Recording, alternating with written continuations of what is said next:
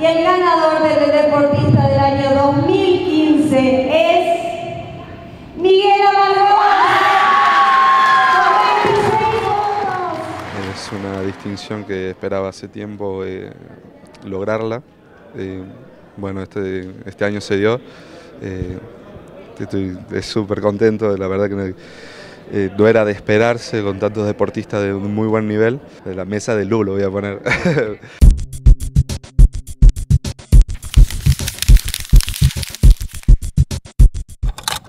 Publiqué una vez en el, Facebook que iba para toda esta gente, para todos mis seguidores, que gracias al dolor eh, muchos no llegan a lo que es eh, eh, la gloria. El dolor es lo que separa todo, la, la mediocridad de la gloria. Siempre vamos a sufrir dolor, ya sea en el entrenamiento, dolor de estar lejos de la familia, todo, pero si superamos esa barrera del dolor, del otro lado está todo lo que siempre soñamos, todo lo que hemos deseado, solamente hay que luchar para pasar esa barrera, luchar contra nuestro dolor. Una vez que pasamos esa barrera vamos a ser felices, vamos a conseguir nuestro objetivo que es para lo que entrenamos día a día. Muchas gracias. Bueno, a todos los deportistas, eh, quería decirles que me emocionó un montón cuando vi la premiación de, justo me tocó, antes que me toque a mí, los, los, premiados de los Juegos Evita, que están atrás. Me gustaría sacarme una foto con ellos, por favor.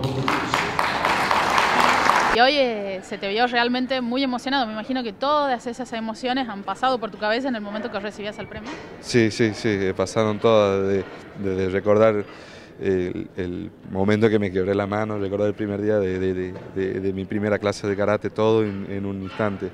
Y que hoy todo termine aquí, eh, en, este día, todo culmine acá. Eh, bueno, cerrar el año de la mejor forma y bueno, empezar a, a pensar en el año que viene, que seguimos con, con, el Open de París, el Open de Holanda, tenemos la Copa del Mundo en Eslovenia, el Panamericano, Sudamericano, una gira en Turquía y Alemania, preparativos para el Mundial que se hace en octubre para ver si nos consagramos también campeones o por lo menos estar en el podio.